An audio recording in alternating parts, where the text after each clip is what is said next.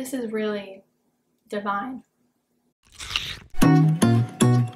Welcome to the You Wanna Bite Kitchen, or if you've been here before, thank you so much for coming back. I'm going to be trying one of Twitter's most famous recipes, Chrissy Teigen's banana bread. Chrissy Teigen really let the whole world know that this banana bread was worth asking a stranger for bananas for. Well, luckily, I didn't have to ask a stranger for bananas. I had my own rotting bananas, so let's not waste any time and get eating banana bread. What you need today is mashed very ripe bananas, two large eggs, canola oil, all-purpose flour, a cup of sugar, instant vanilla pudding mix, baking soda, salt, some chocolate chips, and sweetened coconut, or wait, she has unsweetened coconut. I think this will be okay.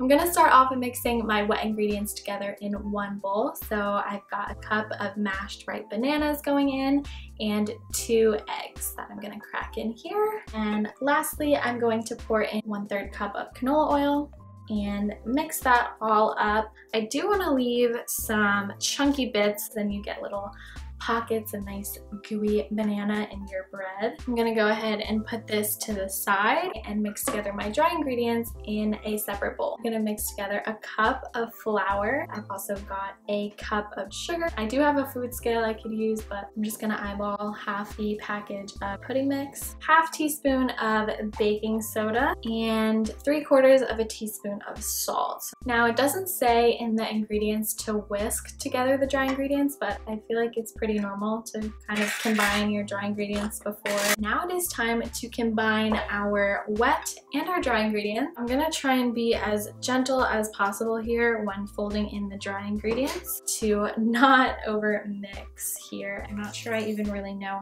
what folding is, but I'm trying to like fold it over you know what I mean? But now that all of my dry ingredients are in here, it's time to add in our mix-ins. Chrissy says to use unsweetened coconut. I only have sweetened, but I don't mind sweet. And I've, of course, also got chocolate. I don't mind at all if there's a lot in here. The more chocolate, the better. So I'm not even gonna measure this. Okay. That was actually, that was actually a lot. This is looking really good. I only made half the recipe, so I'm not going to be putting it in a Bundt pan like Chrissy does. So I've either got a loaf pan or I've got some muffin tins up there. Muffins are just so cute. So I'm going to prep my pans by spraying them with some oil and pour some batter into these muffin tins.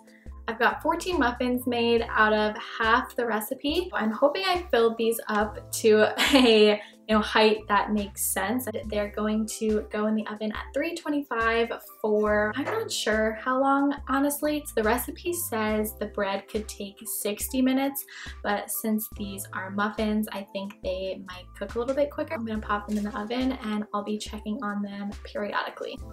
Been 28 minutes. The muffins are looking done. I wish you could smell them. I wish. I wish I could just like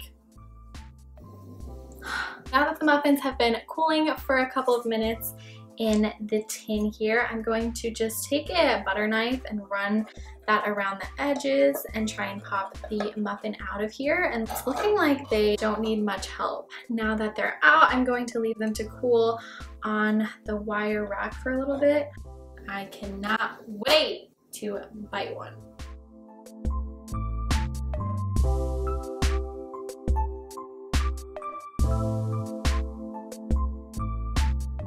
So I'm just gonna go ahead and finally, mm, it is like the perfect amount of sweetness for me at least. Do I have chocolate? I do. And the texture of it is just amazing. And I think that's from the pudding mix. I thought I was just gonna take a bite, but here goes my last bite.